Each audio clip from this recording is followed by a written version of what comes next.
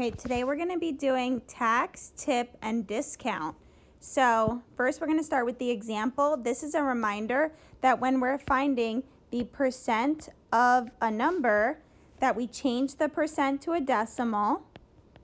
The word of means to multiply by that number. So 16% of 120 is 19.20. So let's start with tax and tip. So a $43 dinner with 18% gratuity. So the word gratuity is another word for tip. So first let's calculate how much money is 18% tip. So we need to find 18% of 43. So change 18% to a decimal. Of means we multiply. 18% of 43. This gives us $7.74 as the tip. So now to find the total cost of the dinner, including tip, we have a $43 dinner plus a $7.74 tip. So we add that together to get $50.74 total for dinner, including tip. So next we have $46 groceries with 2.9% sales tax. So we want to find 2.9% of $46. So make 2.9% a decimal by moving it 2 to the left. That would be 0.029 times $46 groceries. So this equals 1.334 but because this is money, we're going to round it to the hundreds place. So 1.33 for tax. Okay, now let's find the total groceries, including tax. So $46 for groceries plus $1.33 for tax, and that equals $47.33 total for the groceries, including the tax. Okay, now for this tax and total. We have some Nike shoes for $52, headphones for $18. That's a total cost of $70. Sales tax is 5.5%. So we need to find 5.5% of $70. So make 5.5% a decimal by moving it 2 to the left. So 0 0.055 times $70.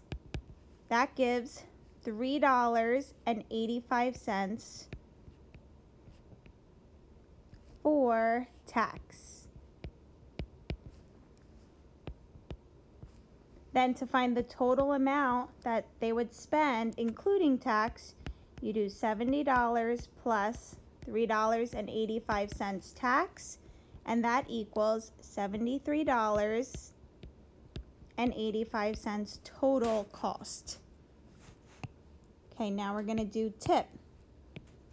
Josiah went to the barber to get his haircut. It cost $18 for the haircut and Josiah tipped the barber 15%. What was the total cost of the haircut including the tip?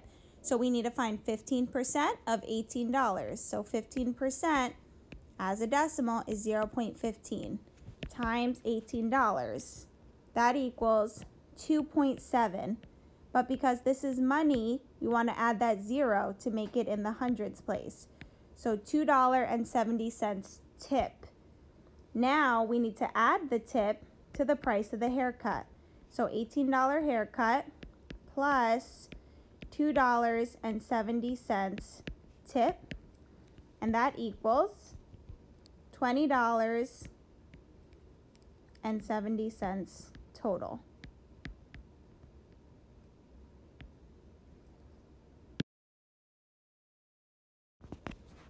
Now we're going to go on to discount. A $320 flat screen is on sale for 5% off. Determine the sale price of the TV. So sale price is the price of something after you take the discount off. So we need to find 5% of $320. So 5% is 0.05 times $320. That equals $16 off. And I'm going to write off so I don't forget that that's 5% off. So then to find the sale price, I have to take the price of the TV minus the 5% discount. The 5% discount is $16 discount. So we have to subtract because this is a discount. So we get $304 as the sale price. So that's the price of the TV after the discount. Okay, now we're going to go on to commission down at the bottom. Andrea makes 25% commission on the Mary Kay makeup she sells. Shown are her sales from this weekend. How much money did Andrea make in commission? So this is how much she made in sales. So let's find her total sales by adding those up.